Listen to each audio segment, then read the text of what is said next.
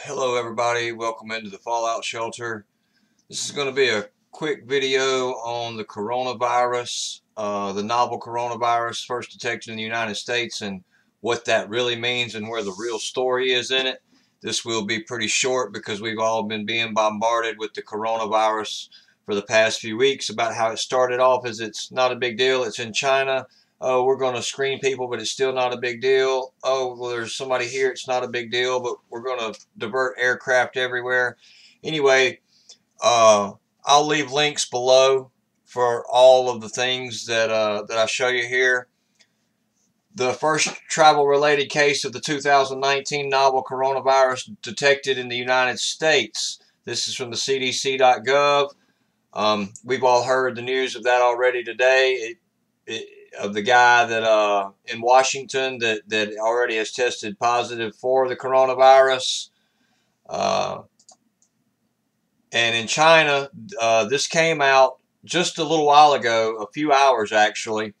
The Chinese health authorities sought to impose a quasi-quarantine Tuesday around the hotspot of a mystery pneumonia-like virus that has claimed at least nine lives in China and was confirmed in the United States for the first time. Uh, in an attempt to contain the virus, Chinese authorities advised people in the city of 11 million not to leave. But the U.S. case showed how far the virus has moved beyond the Wuhan region. Uh, we move on. That was from the Washington Post. Yeah, quarantine of 11 million people. Quarantine. What does that sound like? Uh, yeah, if it gets around.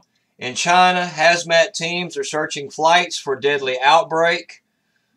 So now that Chinese officials have confirmed that the mysterious pneumonia-like virus known as 2019 NCOV can spread between humans, the government is taking extra precautions.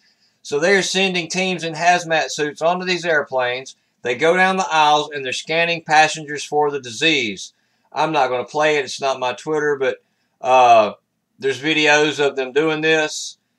So you can see that there. But what does all of this really mean? Well, here's what it really means. Uh, from CNN earlier uh, yesterday, vaccine for new Chinese coronavirus is in the works. So they're telling you how the vaccine is in the works and, and all that. Well, you know, it tells you that it takes about a year to go through, and that's because of all of the uh, the tests. Well, check this out. this is the real story right here. This is from the Motley Fool investing firm. Wuhan coronavirus hits the U.S. and vaccine stock soars. Vaccine maker Novavax is running up on the news the coronavirus has infected a person in Washington state. This is the truth. A mysterious new virus in China has infected more than 300 people and killed six. I think that number's up to nine now. According to the Center for Disease Control and Prevention, the coronavirus started in Wuhan City and has spread to Thailand, Japan, South Korea, and on Tuesday the CDC confirmed the virus reached the U.S. Shares of a certain biotech stock are soaring in response. Novavax is up 73% today from its closing price Friday. The vaccine specialist has its lead compound NanoFlu in phase 3 trials to help stop the recent flu outbreak that has resulted in 57,000 deaths, but the company's platform vaccines based on recombinant nanoparticle technology. Vac yeah, vaccines based on recombinant nanoparticle technology has also been used against the MERS and coronavirus and SARS coronavirus. Novavax has reported success in animal models against both SARS and MERS. One big problem with using vaccines against emerging pathogens is that the drugs need to be approved by regulatory bodies, a process that can take years.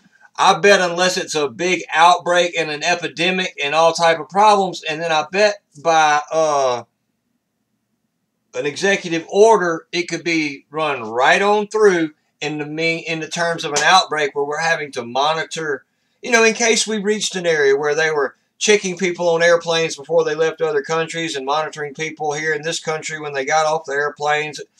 Oh, wait a minute, that's now. Uh, the flu kills more people, which is partly why Novavax has done human trials for its flu vaccine, but not for its drugs for SARS or MERS. While those viruses are highly dangerous, they are also limited in scope. But since we have it going on now, the stocks have skyrocketed. And when the stocks skyrocket, that means they are planning on massive profits. All right, I hope I kept this short enough not to lose your attention. I mean, we've all heard all the news about the coronavirus. I don't need to go on and on and on about that. This is the real news right here from the Motley Fool, and that is a highly uh, respected investing publication. So, take that for what it is. I appreciate you all. Uh, thanks for checking this out, and I hope to have more content coming soon. Uh, been some things going on, but hope to be back with more soon. Thank you all. God bless you, and have a wonderful day.